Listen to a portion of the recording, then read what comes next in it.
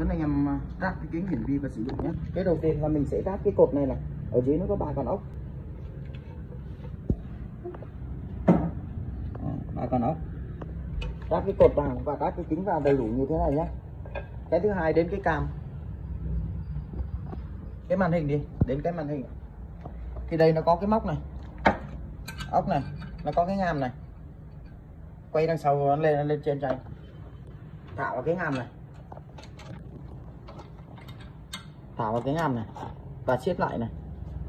Ok vậy là cứng cái tay của nó cái tay nó đây. Xong. Còn cái cam á nó có cái khẩu này. Bình thường cái khẩu này nó sẽ rơi và cái cái này nó nằm ở kính nhá thì mình lấy lấy khẩu mình ráp vào này mình vặn cứng lại này. Sau đó mình để vào đây nới con ốc này ra. Ráp vào và siết ốc lại cái đèn thì nó có ba con ốc thì không nói nữa. Ship vào lỗ.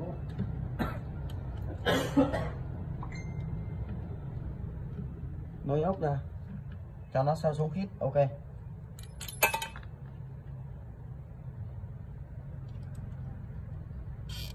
Xong. Sau khi mình ráp xong á. Kiểu 4K phải nằm đằng trước đây. đúng rồi. Cái này về này đây là cái có cái USB của con chuột này. Con chuột thì bật mở nguồn này này tắt nguồn này. Lấy con chuột cắm vào đấy lại đi để biết con cái USB. cái USB nó nằm trong đây. Lấy cắm nó vào lỗ này. Cắm hai cái lỗ này không được cắm lỗ xanh. và cái này này nó có 5 chấm hút này. Ok. Sau đó là mình mình căn này. Ví dụ như cái mắt này của mình nhìn rõ rồi đúng không? Mà trên cái cam nó chưa rõ thì mình vặn cái cổ này để cho nó song song. Vặn cái cổ này thì nó sẽ rõ song song. Chỉnh cái này để ba mắt song song đó, bây giờ ví dụ như đang nhìn cái kính này nhìn bằng mắt rõ này mà kính chưa rõ này. Màn hình chưa rõ thì mình là siết cái mình sẽ à, vặn cái cổ này để cho nó rõ. Ok? Vậy thôi.